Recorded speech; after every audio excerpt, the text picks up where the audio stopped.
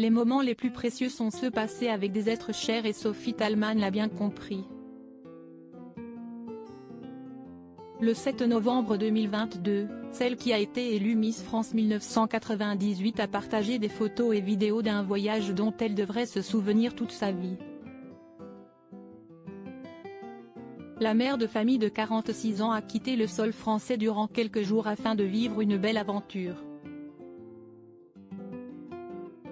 En compagnie de son époux, le jockey belge Christophe Soumillon et de leurs trois enfants Charlie, 17 ans, Mika, 14 ans, et Robin, 5 ans, elle a pris l'avion direction l'Afrique du Sud. Et elle n'a pas tardé à partager quelques photos de paysages, mais pas que. Ce lundi, Sophie Talman a publié de tendres photos en compagnie de ses merveilles. Sur la première, on peut la voir en train d'échanger un regard complice avec le plus jeune de ses fils. Tous deux affichent un beau sourire et l'ancienne reine de beauté entoure son petit prince avec l'un de ses bras.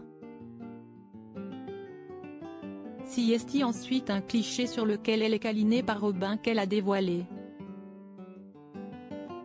Mais cette fois, ils ne sont pas seuls.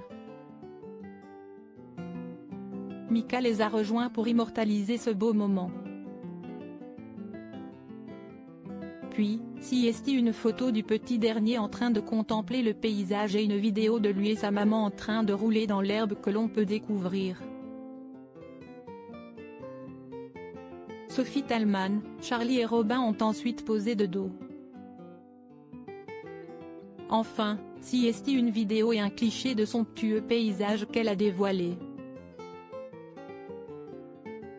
Des moments comme je les aime tant.